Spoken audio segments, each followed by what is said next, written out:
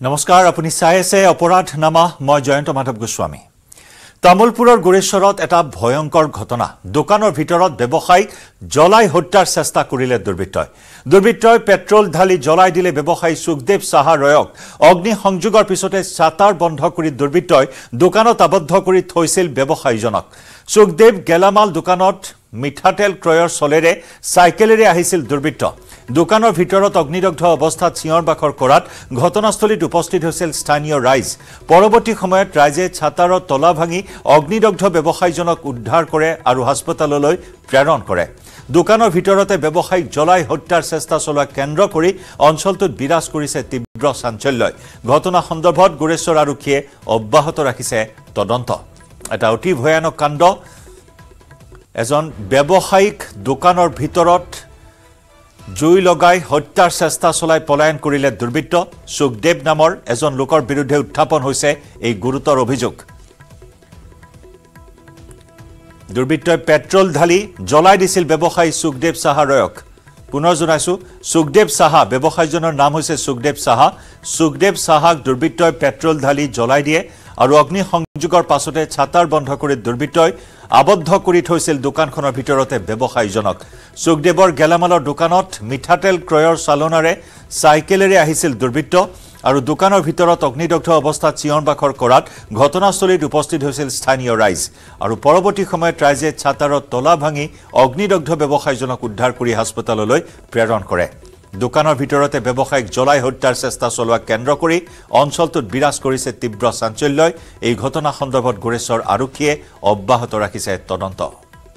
ৰাতিপুৱা আমাৰ খুৰাই সদায় এনে সোনকালে উঠে তেওঁ। ৰাতিপুৱা আমাৰ খুৰাই ঝাৰু মাৰিব আহোঁতে দোকানৰ সন্মুখত কোনোবা এজন মানে অচিনাকি মানুহ এজন আহি পেলাই তেওঁক মানে সুধিছে যে মিঠাতেল পাম নেকি? তেওঁক মিঠাতেল পাম নেকি? বুলি সোধোতে দিব যাওঁতে পিছত পিছফালে ঘূৰি পেলাই চাই যে মানুহজন নাই। মানুহজন হয়তো পেট্ৰলটো ক'ৰবাত ৰাখি থৈ দিছিলে তেনেকৈ বিচাৰিব গ'ল। মানুহজন নাই। তাৰপিছত খুৰাই আকৌ ভাবিলে যে মানুহজন নাই পিছফালৰ পৰা পানী আনি পেলাই পানী অলপ মাৰিব দোকানৰ সন্মুখত তেনেকৈ পানী আনিব গ'ল। পানী আনিব যাওঁতে মানুহজন আহি পাইছে আকৌ। পিছত মিঠাতেলটো জুখিব যাওঁতে মানুহজনে বোলে পিছফালৰ পৰা মানে পেট্ৰলটো ছটিয়াই দি পেলাই ডেচলাই কাঠি মাৰি পেলাই তেওঁ চাৰ্টাৰটো মাৰি পেলাই গুচি গ'ল মানুহজন পলাই গ'ল। ফুৰাৰ পিছত ওলাই আহি পেলাই একদম হাল্লা চিল্লা চিঞৰি চিঞৰ বাখৰ কৰিলে। আহি পেলাই কাপোৰ কানি তেনেকৈ জ্বলি গ'ল গোটেইখিনি হাত ভৰি তেনে লোমখিনি পৰিছে। আমাৰ স্থানীয় সংবাদদাতা নয়নজ্যোতি দাসৰ সৈতে সংযুক্ত হৈছো। নয়ন অতি চাঞ্চল্যকৰ ঘটনা যে এগৰাকী ব্যৱসায়িক দোকানৰ ভিতৰত পেট্ৰল ঢালি জ্বলাই দি পলায়ন কৰিলে দুৰ্বৃত্তই। কি তথ্য লাভ কৰিছে আপুনি? কোন দুৰ্বৃত্ত চিনাক্ত কৰা হৈছে এই মুহূৰ্তত? হয় জয়ন্ত। আজি তামোলপুৰ জিলাৰ গোৰেশ্বৰত আজি ৰাতিপুৱাৰ ভাগত এক চাঞ্চল্যকৰ ঘটনাৰ সৃষ্টি হৈছে। দুৰ্বৃত্তই পেট্ৰল ঢালি জ্বলাই দিলে এজন ব্যৱসায়ী গুৰুতৰভাৱে আঘাতপ্ৰাপ্ত হৈছে গোৰেশ্বৰৰ স্থানীয় ব্যৱসায়ী সুখদেৱ চাহা ৰয়। আজি এই পুৱাৰ ভাগত সুখদেৱ চাহা ৰয়ৰ গেলামাল দোকানত এজন দুৰ্বৃত্তই মিঠাতেল কিনিব অহাৰ চলেৰে তেওঁক সুখদেৱ চাহাক কয় যে আপোনাৰ দোকানত মিঠাতেল আছে নে নাই মিঠাতেল বিচাৰি যোৱাৰ চলেৰে সুখদেৱ চাহা যেতিয়া দোকানৰ ভিতৰত প্ৰৱেশ কৰে তেতিয়াই পিছফালৰ পৰা পেট্ৰল ঢালি আৰু দিয়া চলাই খাটি সুখদেৱ চাহাৰ গালৈ দলিয়াই দি ছাটাৰখন বন্ধ কৰি দুৰ্বৃত্তই লগে লগে পলায়ন কৰে আৰু ঠিক তেনে সময়তে দুৰ্বৃত্ত পলায়ন কৰাৰ পিছত সুখদেৱ চাহাই চিঞৰ বাখৰ কৰে আৰু কোনোমতে ছাটাৰখন খুলি বাহিৰলৈ ওলাই আহি চিঞৰ বাখৰ লগোৱাত স্থানীয় ৰাইজে সুখদেৱ চাহাক সহায় কৰি তেওঁৰ কাপোৰ কানি কিছু খুলি দি অগ্নি জুই নুমুৱাবলৈ চেষ্টা কৰে আৰু তাৰপিছত জুই নুমুৱাবলৈ বৰ্তমান ব্যৱসায়ীজনৰ অৱস্থা কেনেকুৱা? শাৰীৰিক অৱস্থা তেওঁৰ বৰ্তমান কেনেকুৱা? তেওঁ বিপদমুক্ত হয় নে নহয়? হয় জয়ন্ত বৰ্তমান সুখদেৱ চাহা বিপদমুক্তে বিপদমুক্ত হয় নে নহয় সম্পূৰ্ণকৈ জানিব পৰা হোৱা নাই যদিও তেওঁ গুৰুতৰভাৱে অসুস্থ হোৱাত স্থানীয় ৰাইজৰ সহযোগত তেওঁক উন্নত চিকিৎসাৰ বাবে গুৱাহাটী মেডিকেল কলেজ হস্পিটেললৈ প্ৰেৰণ কৰা হৈছে। হয়। এতিয়া এতিয়া কাৰোবাক সন্দেহ কৰা হৈছে? দুৰ্বৃত্তক চিনাক্তকৰণৰ ক্ষেত্ৰত বৰ্তমান আৰক্ষীয়ে কেনেকুৱা ধৰণৰ ভূমিকা গ্ৰহণ কৰিছে? হয় দুৰ্বৃত্তক বৰ্তমানলৈকে চিনাক্ত কৰিব পৰা হোৱা নাই আৰু এই মুহূৰ্তত আমি জানিব পৰা মতে গোৰেশ্বৰ আৰক্ষীয়ে ঘটনাস্থলীত উপস্থিত হৈ তদন্ত অব্যাহত ৰাখিছে। হয় জয়ন্ত। ধন্যবাদ নয়ন। আৰু এনেদৰে এটা চাঞ্চল্যকৰ ঘটনাই জোকাৰি গৈছে সমগ্ৰ অঞ্চলটোত। মিঠাতেল ক্ৰয় কৰাৰ চলনাৰে প্ৰৱেশ কৰিছিল দোকানখনত আৰু তেনে সময়তেই দোকানত ছাটাৰ বন্ধ কৰি পেট্ৰল ঢালি জ্বলাই দিছিল। তাৰপিছত পলায়ন কৰিছিল। স্থানীয় লোকে চিঞৰ বাখৰ শুনি ছাটাৰ খুলি দেখিবলৈ পায় সেই ভয়ানক কাণ্ড ভয়ানক দৃশ্য আৰু স্থানীয় লোকৰ তৎপৰতাত ততাতৈয়াকৈ উন্নত চিকিৎসাৰ বাবে ব্যৱসায়ী সুখদেৱ চাহা ৰয়ক জি এম চি এইচলৈ প্ৰেৰণ কৰা হয়। কিন্তু এতিয়াও দুৰ্বৃত্তক কৰায়ত্ব কৰিব পৰা নাই বা চিনাক্ত কৰিব পৰা হোৱা নাই।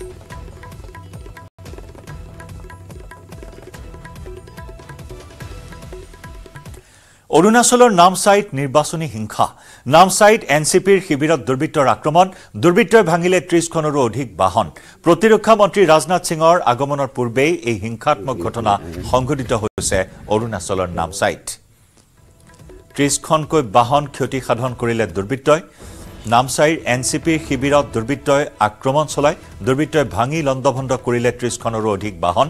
প্ৰতিৰক্ষা মন্ত্ৰী ৰাজনাথ সিং আহিব কাইলৈ নিৰ্বাচনী প্ৰচাৰ অভিযানত অংশগ্ৰহণ কৰিব কিন্তু তাৰ প্ৰাক মুহূৰ্তত এনে নিৰ্বাচনী হিংসাই উত্তেজনা সৃষ্টি কৰিছে সমগ্ৰ নামচাই অঞ্চলত।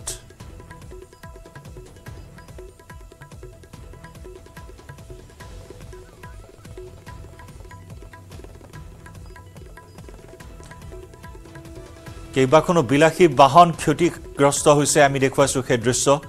কেইবাখনো বিলাসী বাহন নিৰ্বাচনী প্ৰচাৰ অভিযানৰ নামত এই বাহনসমূহ ব্যৱহাৰ কৰা হৈছিল।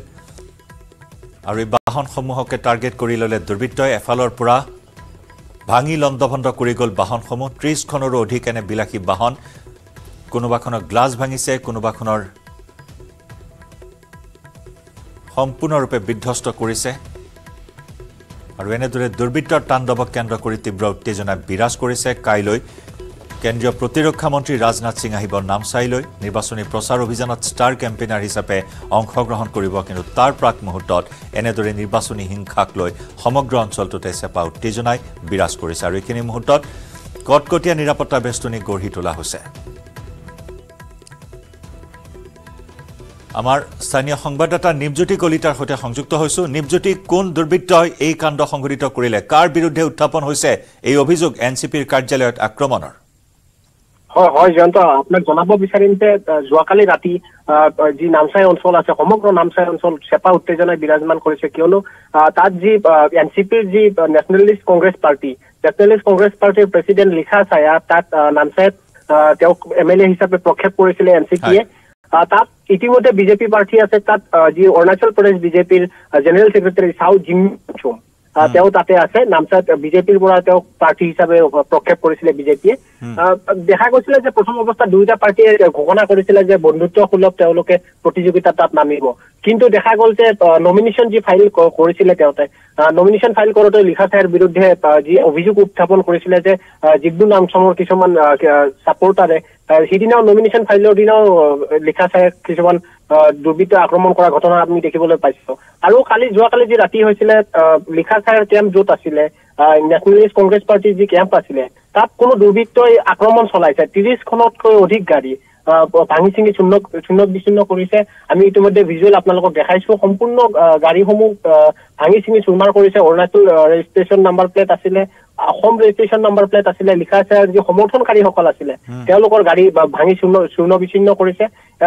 যি অভিযোগ উঠিছে আমি লিখা চাৰ লগতো কথা পাতিবলৈ চেষ্টা কৰিছিলো। তেওঁ অভিযোগ কৰা মতে বিজেপিৰ যি প্ৰাৰ্থী আছে তাত তাও জিগ্নু নাংচুম তেওঁকে অভিযোগ কৰিছে তেওঁ লিখা চায়ে।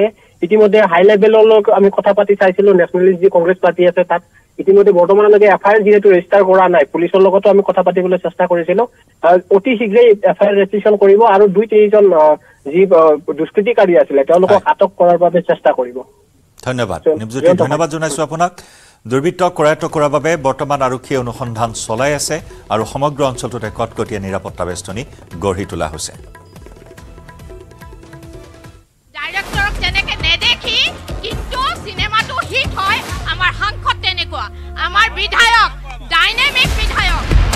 পৰাগমণি আদিত্যৰ সৈতে ৰণসিঙা আজি সন্ধিয়া সাত বাজি পঞ্চাছ মিনিটত।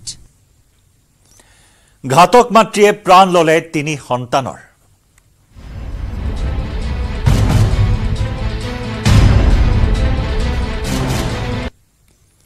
কৰিমগঞ্জত সংঘটিত হ'ল চাঞ্চল্যকৰ ট্ৰিপল মাৰ্ডাৰ তিনি কণমানি সন্তানক দাৰে ঘপিয়াই হত্যা কৰিলে পাষাণ মাতৃয়ে। পাষাণ মহিলাৰ আক্ৰমণত গুৰুতৰভাৱে আহত হৈছে সাত বছৰীয়া ভগ্নীও। তিনি সন্তানক হত্যা কৰি আত্মহত্যাৰ চেষ্টা চলালে ঘাতক মাতৃ। ৰামকৃষ্ণ নগৰৰ দলুগাংগত সংঘটিত হৈছে এই নৃশংস হত্যাকাণ্ড। গাঁৱৰ ৰাইজে আক্ৰমণৰ ভয়ংকৰ দৃশ্য প্ৰত্যক্ষ কৰাত ধোৱা ধোৱা লাগে অঞ্চলটোত। ঘটনাস্থলীত উপস্থিত ৰাইজে বিশ্বনাথ প্ৰত্যক্ষ কৰে তিনি কণমানিৰ ৰক্তাক্ত মৃতদেহ। সংকটজনক অৱস্থাত উদ্ধাৰ কৰে সাত বছৰীয়া শৰ্মিন বেগমক। ইপিনে মহিলাগৰাকীয়েও নৃশংস ঘটনা সংঘটিত কৰি বাছি লৈছিল চৰম সিদ্ধান্ত। গুৰুতৰভাৱে আহত শৰ্মিন লগতে ঘাতক মহিলাগৰাকীক উদ্ধাৰ কৰি ৰাইজে প্ৰেৰণ কৰে হাস্পতাললৈ। সম্প্ৰতি ভগ্নীসহ শিলচৰ মেডিকেল কলেজ হাস্পতালত চিকিৎসাধীন ঘাতক মহিলাগৰাকী। দুই বছৰীয়া তিনি বছৰীয়া আৰু চাৰি বছৰীয়া সন্তানক হত্যা কৰিলে পাষাণ মাতৃয়ে। অতি হৃদয় বিদাৰক এই ঘটনা সংঘটিত হৈছে। কণমানি তিনি সন্তান তিনি নিষ্পাপ শিশুক এনেদৰে হত্যা কৰি নিজ মাতৃয়েও চৰম সিদ্ধান্ত বাছি লৈছিল। কিন্তু স্থানীয় লোকৰ তৎপৰতাত মহিলাগৰাকীক উদ্ধাৰ কৰা হয়। লগতে মহিলাগৰাকীয়ে তিনি সন্তানক হত্যা কৰাৰ উপৰিও নিজৰ সাত বছৰীয়া শিশু ভগ্নীকো হত্যাৰ চেষ্টা চলায়। এই ট্ৰিপল মাৰ্ডাৰ কি কাৰণত সংঘটিত কৰিলে মহিলাগৰাকীয়ে সেয়া এতিয়াও জানিব পৰা হোৱা নাই।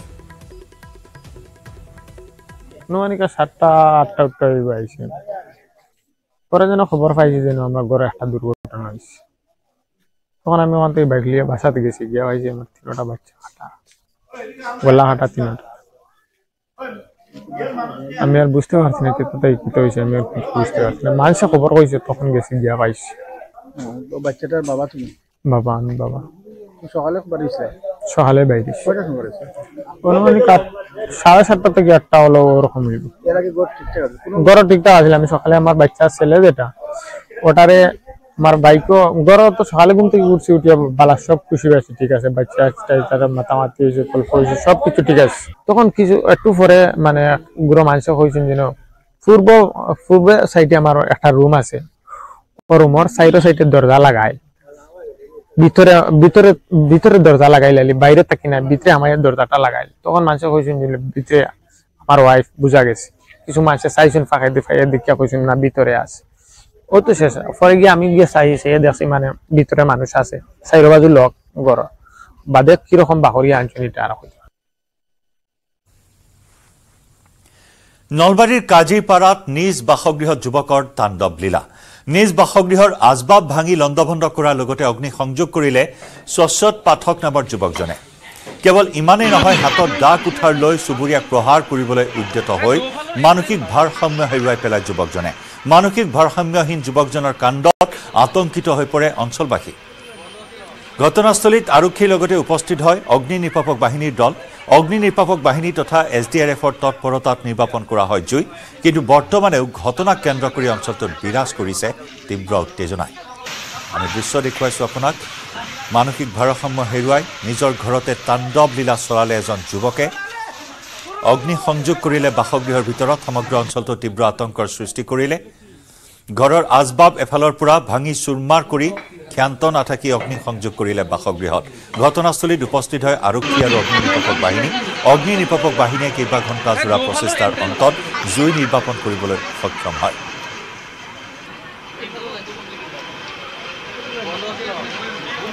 আতংকত আছে। আতংকত ৰাতিপুৱাৰ পৰা একদম পুৰা আতংকত আছে গোটেইখিনি মানুহ। আমি নিজে দেখাই পাইছে কিমান মানুহ ওলাই আহিছে। এই চাৰি ঘণ্টা হ'ল মানে কণ্ট্ৰলত আনিব নাই পাৰে কৰা নাই। যি মন যায় তাকে কৰি আছে। যি মন যায় ইচ্ছা তাৰ তাৰ ইচ্ছামতে সি কৰি মানে সেয়া পঢ়া শুনা কৰি এনেকেই আৰু বহুত বছৰৰ পৰা এনেকেই আছে। দেউতাক মাক আছে? দেউতাক মাংস কি কৰিলে দেউতাকে? দেউতাকে চাকৰি কৰিছিল ৰিটায়াৰ হৈছে ঘৰত জুই লগাই দিছে। আৰু ৰাইজক আক্ৰমণ কৰি আছে। ৰাইজক আক্ৰমণ কৰিছে পুলিচ এজনক জাঠিৰে হেৰি কৰিছে আৰু দা লৈ বহি আছে ভিতৰত কাকো যাব দিয়া নাই। ধুবুৰী সীমান্তৰ বক্সিৰহাটত তেইছ লাখ টকাৰ জাল নোট জব্দ। এখন বাহনৰ পৰা জব্দ বৃহৎ পৰিমাণৰ জাল নোটখিনি চালকসহ তিনি গ্ৰেপ্তাৰ বংগ আৰক্ষীৰ। ধৃতত ছত্তীশগড়ৰ সঞ্জীৱ কুমাৰ আৰু দুৰ্গা প্ৰসাদ নিষাদ চালক অভিজিত দত্তকো গ্ৰেপ্তাৰ বংগ আৰক্ষীৰ। তিনিওকে দহ দিনৰ আৰক্ষীৰ জিম্মালৈ প্ৰেৰণ তুফানগঞ্জ আদালতৰ। অসমৰ পৰা বংগ অভিমুখী আছিল বাহনখন। লোকসভা নিৰ্বাচনৰ প্ৰাক্ষণত অসমৰ পৰা বংগলৈ যোৱা পথত জাল নোট আৰু নগদ ধন উদ্ধাৰ হোৱাত চিন্তিত হৈছে প্ৰশাসন।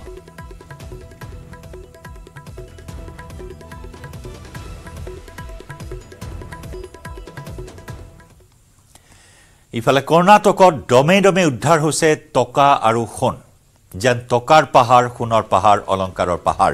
কৰ্ণাটক আৰক্ষীয়ে জব্দ কৰিছে পাঁচ কোটি ষাঠি লাখ নগদ ধন আৰু তিনি কিলোগ্ৰাম সোণ।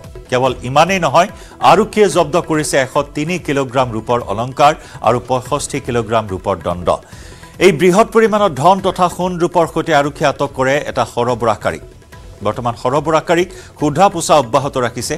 এতিয়াও এই বৃহৎ ধন সোণৰ উদ্ধাৰৰ উৎস জানিব পৰা হোৱা নাই। ধন সোণৰ উদ্ধাৰৰ সবিশেষ জানিব পৰা হোৱা নাই।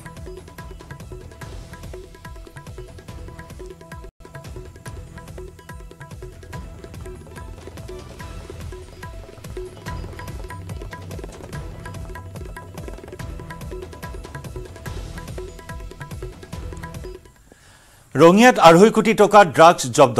দহ হাজাৰ নিচাযুক্ত টেবলেট জব্দ এছ টি এফৰ। মণিপুৰৰ পৰা ৰঙিয়ালৈ সৰবৰাহ কৰিছিল এই টেবলেটখিনি। এখন এল্ট' বাহনৰ পৰা জব্দ নিচাজাতীয় টেবলেট। কোচবিহাৰত দুই যুৱকক ৰঙিয়াৰ যুৱকে বিক্ৰী কৰিছিল টেবলেটখিনি। ৰঙিয়াৰ ইমৰান হুছেইনে বিক্ৰী কৰিছিল ড্ৰাগছ কোচবিহাৰৰ ৰচিদুল মিয়া আৰু নয়ন মিয়াক টেবলেটখিনি বিক্ৰী কৰিছিল ইমৰানে। আৰক্ষীয়ে গ্ৰেপ্তাৰ কৰে ৰচিদুল মিয়া আৰু নয়ন মিয়াক। এল্ট' বাহনখনত অতি গোপনে কৌশলেৰে চেম্বাৰ বনাই সৰবৰাহ কৰিছিল ড্ৰাগছ। মণিপুৰৰ পৰা ৰঙিয়ালৈ সৰবৰাহ কৰা হৈছিল। কোচবিহাৰৰ দুই যুৱকক ৰঙিয়াৰ যুৱকক বিক্ৰী কৰিবৰ বাবে আনিছিল সৰবৰাহ কৰিছিল এই ড্ৰাগছখিনি।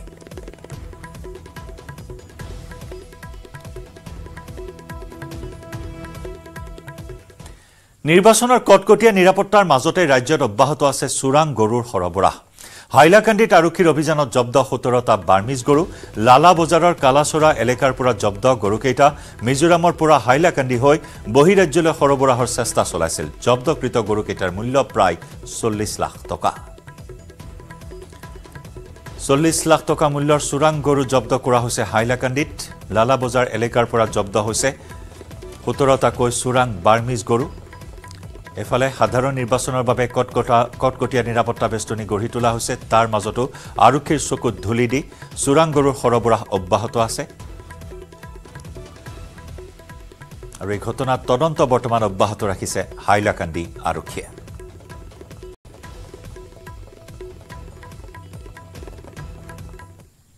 জনজাতি মানুহখিনি আমি পিছপৰা মানুহ সঁচা কথা। গাঁৱত থাকোঁ আমি ভালকৈ চাৰ্ডো পিন্ধিব নাজানো। আমি কিন্তু এই চৰকাৰখনে যেনেধৰণে আমাৰ অঞ্চলবিলাকত কাম কৰিছে এই চৰকাৰখনক আমি নুই কৰিব নোৱাৰোঁ। পৰাগমণি আদিত্যৰ সৈতে ৰণসীমা আজি সন্ধিয়া সাত বাজি পঞ্চাছ মিনিটত। মহানগৰীত পুনৰ শিশু অপহৰণৰ অপচেষ্টা। পিতৃৰ কাষৰ পৰাই ডেৰ বছৰীয়া শিশুক অপহৰণৰ চেষ্টা। বশিষ্ঠৰ পাতৰকুচিত ফুট গধূলিতে এই ভয়ংকৰ ঘটনা সংঘটিত হয়। অৱশ্যে ৰাইজৰ তৎপৰতাত ডেৰ বছৰীয়া শিশুটিক উদ্ধাৰ কৰা হয়। ৰাইজে কৰায়ত্ব কৰে অপহৰণকাৰী যুৱকক অভিযুক্ত যুৱকজনক কৰায়ত্ব কৰি উত্তম মধ্যম সোধাই গতাই দিয়ে আৰক্ষীক। অভিযুক্তক জিম্মাত লৈ বশিষ্ঠ আৰক্ষীয়ে চলাই আছে তদন্ত। ফুট গধূলিতে মহানগৰীৰ বশিষ্ঠৰ পাতৰকুচিত এই চাঞ্চল্যকৰ ঘটনা সংঘটিত হৈছে। পিতৃৰ পৰাই অপহৰণৰ চেষ্টা এটি ডেৰ বছৰীয়া শিশুক স্থানীয় লোকে প্ৰত্যক্ষ কৰি অপহৰণকাৰীক কৰায়ত্ব কৰিবলৈ সক্ষম হয়। খেদি খেদি কৰায়ত্ব কৰে অপহৰণকাৰীক। তাৰপিছত লপাথপা দিলে স্থানীয় ৰাইজে। উত্তম মধ্যম সোধাই ঘটনাস্থলীত উপস্থিত হোৱা আৰক্ষীক চমজাই দিয়ে অপহৰণকাৰীক। বৰ্তমান বশিষ্ঠ আৰক্ষীয়ে তদন্ত অব্যাহত ৰাখিছে এই ঘটনাৰ।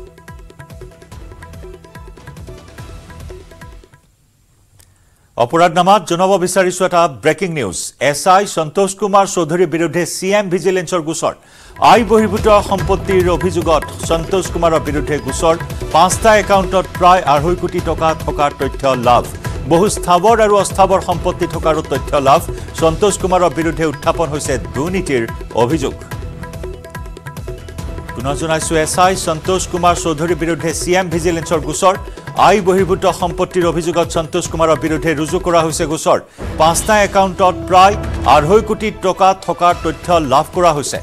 লগতে বহু স্থাৱৰ আৰু অস্থাৱৰ সম্পত্তি থকাৰো তথ্য লাভ।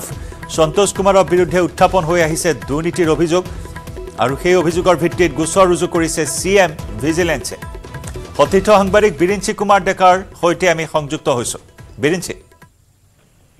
নিশ্চয় জয়ন্ত যে এগৰাকী আচলতে এছ আই সন্তোষ কুমাৰ চৌধুৰীৰ বিৰুদ্ধে ইতিমধ্যে চাৰি অব্লিক দুহেজাৰ চৌবিশ নম্বৰ এটা গোচৰ ৰুজু কৰিছে চি এম ভিজিলেন্সত। আৰু এইগৰাকী বিষয় আচলতে সময়ে সময়ে বহু আচলতে সম্পত্তি ঘটিছে। তেওঁ ইতিমধ্যে উল্লেখ কৰিছে যে পাঁচটাকৈ একাউণ্টত প্ৰায় আঢ়ৈ কোটি টকা তেওঁ জমা পাইছে। আনহাতে বহু নথি পত্ৰ তেওঁৰ পৰা ইতিমধ্যে চি এম ভিজিলেন্সৰ তদন্ত কালত তাত তেওঁলোকে ইতিমধ্যে জব্দ কৰিছে আৰু দেখা পোৱা গৈছে স্থাৱৰ অস্থাৱৰ সম্পত্তিও আচলতে বহু পৰিমাণে আছে। বেলেগৰ অন্যান্য ব্যক্তি পৰিয়াল অন্যান্য ব্যক্তিৰ নামতো আছে। গতিকে সমগ্ৰ বিষয়টোক লৈ যিহেতু এই তদন্তটো চলি আছে হয়তো দুই এদিনৰ ভিতৰত তেওঁক চি এম ভিজিলেন্সৰ কাৰ্যালয়লৈ মাতিব। মাতাৰ পাছত তেওঁক জেৰা কৰিব সমগ্ৰ বিষয়টোতে। আচলতে এইসমূহ টকা তেওঁ ক'ৰ পৰা পালে?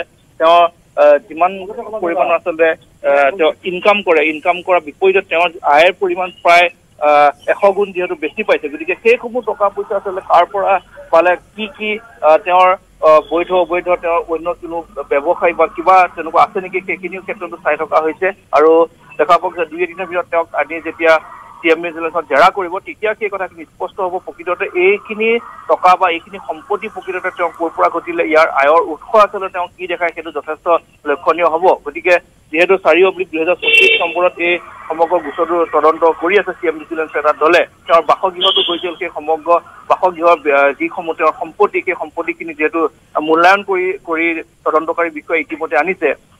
তেওঁ গাড়ী বা তেওঁৰ যিখিনি ঘৰৰ ইণ্টেৰিয়ৰ ডিজাইনে হওক বা বেংকৰকে যিখিনি নথি পত্ৰ সেইখিনিও আচলতে ইতিমধ্যে জব্দ কৰিছে। গতিকে দুই এদিনৰ ভিতৰত তেওঁক যেতিয়া জেৰা কৰিব জেৰাত যদি তেওঁ সম্পূৰ্ণ যদি শুদ্ধ তথ্য যদি তেওঁ দিব নোৱাৰে তেতিয়াহ'লে তেওঁ গ্ৰেপ্তাৰ হোৱাটো প্ৰায় নিশ্চিত। কিমান বছৰ হ'ল চাকৰি কৰাৰ বিৰিঞ্চি যদি চোৱা হয়? অতি কম সময়ৰ ভিতৰতে কিন্তু এইসকল বিষয়াই সম্পত্তিৰ পাহাৰ গঢ়িবলৈ সক্ষম হৈছে। সেয়া লাগিলে সুকন্যা বৰাৰ ক্ষেত্ৰতে হওক বা আন যিসকলক ইতিমধ্যেই গ্ৰেপ্তাৰ কৰিছে চি এম ভিজিলেন্সে সেইসকলৰ ক্ষেত্ৰতে হওক। দুৰ্নীতিৰ যি পাহাৰ গঢ়িছে অতি কম সময়ৰ ভিতৰতে কিন্তু এইসকল চৰকাৰী বিষয়াই এই সম্পত্তিৰ পাহাৰ গঢ়িছে।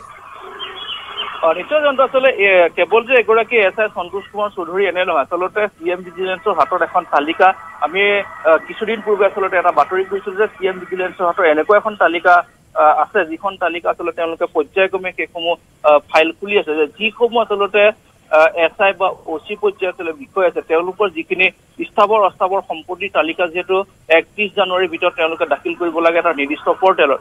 আৰু কিন্তু এইখিনি এইসমূহ বিষয়ে কিন্তু এইসমূহ তেওঁলোকৰ তালিকাসমূহ আচলতে দিয়া নাছিল। গতিকে এই যিখিনি নিৰ্দিষ্ট বিষয়ৰ ওপৰত আচলতে সন্দেহ থাকে সেই সন্দেহ থকা বিষয়াসকলক তীক্ষ্ণ নিজ- নজৰত ৰাখিছিল চি এম ভিজিলেন্সে। আৰু একাংশ বিষয়ে যিহেতু এই মুহূৰ্তলৈকে আজি তাৰিখলৈকে বহু বিষয়ে কিন্তু সেইসমূহ স্থাৱৰ স্থাৱৰ সম্পত্তিৰ কোনো। তালিকা প্ৰকাশ নকৰিলে। গতিকে এই ক্ষেত্ৰত এইসকল বিষয়ৰ বিৰুদ্ধে তেখেতসকলে ব্যৱস্থা গ্ৰহণ কৰিছিল। প্ৰথম পৰ্যায়ত এগৰাকী এছ আই সন্তোষ কুমাৰ বিৰুদ্ধে যিহেতু গোচৰ ৰুজু কৰিছে হয়তো পৰ্যায় আৰু তেনেকুৱা বহু বিষয়ৰ বিৰুদ্ধে তেওঁলোকে এনেধৰণৰ গোচৰ ৰুজু কৰি তদন্ত কৰিব আৰু পৰৱৰ্তী সময়ত এইসকল বিষয়া গ্ৰেপ্তাৰ কৰি আচলতে কাৰাগাৰলৈ প্ৰেৰণ কৰিব ধন্যবাদ বিৰিঞ্চি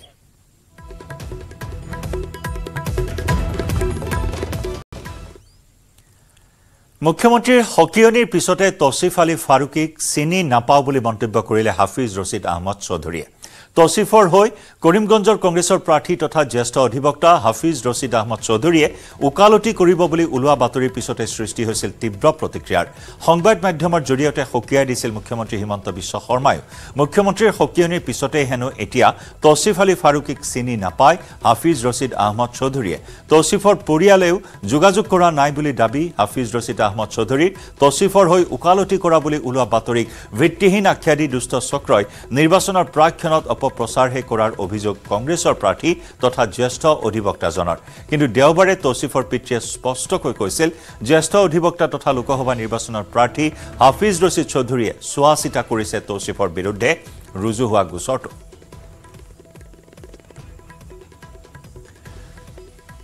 ইফালে তৌচিফ আলী ফাৰুকীৰ হৈ হাফিজ ৰছিদ আহমদ চৌধুৰীয়ে ওকালতি কৰিব বুলি ওলোৱা বাতৰিৰ পাছতে প্ৰতিক্ৰিয়া প্ৰকাশ কৰিছিল। মুখ্যমন্ত্ৰী হিমন্ত বিশ্ব শৰ্মায়ো ভোটৰ লালসাত হাফিজ ৰছিদে এই কাম কৰা বুলি মন্তব্য। মুখ্যমন্ত্ৰীৰ বিজেপি চৰকাৰৰ দিনত ডাঙৰ কথা কৈ লাভ নাই বুলি হুংকাৰ। আইনৰ বিৰুদ্ধে গ'লে কুঁহিয়াৰ চেপা দিয়া হ'ব বুলি সকীয়াই দিছিল মুখ্যমন্ত্ৰী ডক্টৰ শৰ্মাই। মুখ্যমন্ত্ৰীৰ প্ৰতিক্ৰিয়াৰ পূৰ্বেই গোচৰটো হাফিজ চৌধুৰীয়ে চোৱা চিতা কৰা বুলি স্পষ্টকৈ কৈছিল তৌচিফৰ পিতৃয়ে। কিন্তু মুখ্যমন্ত্ৰীৰ সকিয়নিৰ পিছতে তৌচিফৰ পিতৃৰ ভাষ্যক নচ্ছাত কৰিলে কৰিমগঞ্জৰ কংগ্ৰেছৰ প্ৰাৰ্থী তথা জ্যেষ্ঠ অধিবক্তা হাফিজ ৰছিদ আহমদ চৌধুৰীয়ে চাওঁ আহক তৌচিফৰ পিতৃৰ মন্তব্যৰ পিছত কি প্ৰতিক্ৰিয়া দিছিল মুখ্যমন্ত্ৰী হিমন্ত বিশ্ব শৰ্মাই আৰু মুখ্যমন্ত্ৰীৰ সকিয়নিৰ পিছত কি ক'লে হাফিজ ৰছিদ আহমদ চৌধুৰীয়ে हाँ तो जो भी अब ए, जैसा होगा वो जो है होगा जो अब ए, कोई भी गलती हो जाती है वो- एडवोकेट ले लिया है अभी हाँ हमारे हैं वो एडवोकेट हैं उम, ए, वो ऑल इंडिया सेक्रेटरी रह चुके हैं जो एमपी का इलेक्शन लड़ रहे हैं ए, हाफिज ए, चौधरी साहब हैं और उनके जूनियर लोग हैं जूनियर लोग देख रहे हैं चूंकि उनको ए, थोड़ा सा वो देखे ए, और बाकी सब जूनियर लोग देख रहे हैं और जूनियर आज़ाद साहब हैं ये लोग देख रहे हैं हाँ, और और कई लोग हैं কংগ্ৰেছৰ প্ৰাৰ্থীজনে ভোটৰ লালচাত যি কৈছে কওক সেইটো কোনো আপত্তি নাই কিন্তু একচুৱেলি যদি বেয়া কাম কৰে এইখন চৰকাৰে কাকো নাচায় আইনৰ বিৰুদ্ধে যোন যায় তাক কুঁহিয়াৰ চেপা দি চেপি দিয়ে। মই এইটোকে ক'লোঁ ন ইমান ভাল শব্দৰ পিছত আৰু কিয় লাগে? যে কুঁহিয়াৰ চেপা দি চেপি দিওঁ আৰু কি লাগে? এইটো কমপ্লিট ভিত্তিহীন। মই মানুহ চিনিও নাপাওঁ মই কোনো মানে কণ্টেক্ট কৰা নাই মই গুৱাহাটীতো নাই। এতিয়াতো মই সেইদিন প্ৰেক্টিচো কৰিব নোৱাৰিম মই যিহেতু ইলেকশ্যনত আছো। মই ইণ্টেৰিয়ৰ পুলিচ আছো। কোনে যে এনেকুৱা বস্তু ওলাই আছে মই নাজানো। এইটো মোক মেলাইন কৰাৰ কাৰণে এইবোৰ বস্তু কৰি আছে। মই নাজানো বস্তু এইটো কোনো আইডিয়াও নাই মোক এইটো বেপাৰে কোন মানুহ হয় কি হয়। আৰু মই কি এইবোৰ মই ছাপৰ্ট কৰিম নেকি? এই বস্তু ঘৰত কটুক মই কটুক যদি সঁচা অৰ্থে হৈ থাকে কটুক তাকে কটুক শাস্তি হ'ব লাগে এওঁলোকৰ যদি এনেকুৱা কোনো সঁচা অৰ্থে আমাৰ দেশৰ এগেইনষ্টত কোনো কথা কৈ থাকে বা দেশৰ সভাকান্তিক এগেইনষ্টত কোনো বক্তব্য ৰাখে anybody whoever he may be he may be Muslim he may be any ওৱান মই এইটো বিচাৰিম যে এইটো কঠোৰ শাস্তি হ'ব লাগে এনেকুৱা মানুহৰ। আৰু ইফালে হাফিজ ৰছিদ আহমদ চৌধুৰীৰ মনোনয়ন বাতিল কৰিব লাগে বুলি দাবী জনালে মন্ত্ৰী পীযুষ হাজৰিকাই।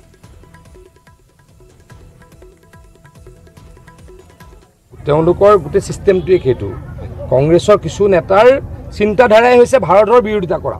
তেওঁলোকৰ কংগ্ৰেছৰ কিছু চি- নেতাৰ চিন্তাধাৰাই হৈছে ভাৰতৰ বিৰোধিতা কৰা। তেওঁলোকে তালিবানী সংস্কৃতিক ছাপোৰ্ট কৰে। তেওঁলোকে আইচিছক ছাপোৰ্ট কৰে। আৰু গজুৱাহীন বুলি কয় তেওঁলোকে তাক ছাপোৰ্ট কৰে যিটো পাকিস্তানত বহি বহি গজুৱাহীন কৰিব বিচাৰে। এই হফিজ ৰচিদ চৌধুৰীৰ নিচিনা ব্যক্তিসকলেই ছাপোৰ্ট কৰে এই কথা পৰিস্ফুট হৈছে। গতিকে কোনোৱে কোনোৱে যি ভাৰতবৰ্ষক ভাল পায় হিন্দু মুছলমান খ্ৰীষ্টান কোনোৱে যি ভাৰতবৰ্ষক ভাল পায় কংগ্ৰেছক আজি তাৰিখত ভোট দিব নোৱাৰে ভোট নিদিয়ে। হাফিজ ৰছিদ চৌধুৰীয়ে কি প্ৰক্ৰিয়াৰে আইনী যুঁজ দিব বিচাৰিছে নাজানো কিন্তু কৰিমগঞ্জ সমষ্টিত চৌধুৰীৰ পৰাজয় নিশ্চিত। তেখেতে এজন আইনজীৱী কি কৈছে মই তাত নপঢ়োঁ।